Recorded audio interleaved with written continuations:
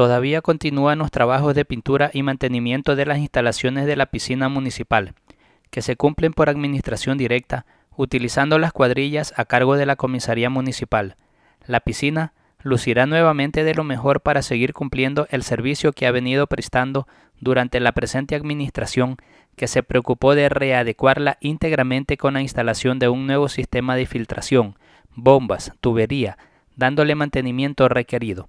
La municipalidad realiza los cursos de natación en acción coordinada con Liga Deportiva Cantonal y la piscina está a la orden de los niños, adolescentes y adultos que frecuentemente asisten a dicho escenario cuyas instalaciones se trata de mejorarlas en los propósitos de que contribuya al ornato de la ciudad. Se dijo que a más tardar la próxima semana, la piscina estará lista para seguir prestando el servicio a la comunidad, luego de permanecer cerrada durante las últimas dos semanas.